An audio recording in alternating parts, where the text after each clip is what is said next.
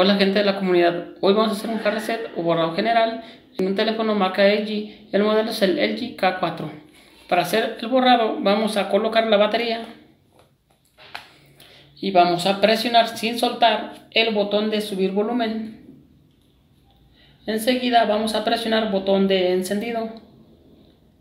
En cuanto se vea el logo de LG, vamos a soltar botón de encendido y lo volvemos a presionar rápidamente soltamos encendido, presionamos nuevamente y lógicamente sin soltar el de subir volumen.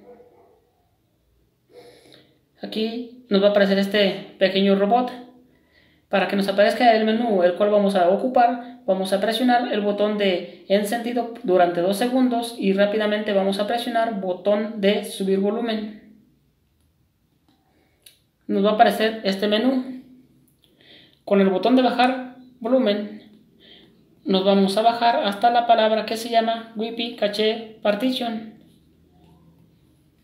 Y vamos a tocar botón de encendido. Aquí ya se ha borrado los datos de la partición.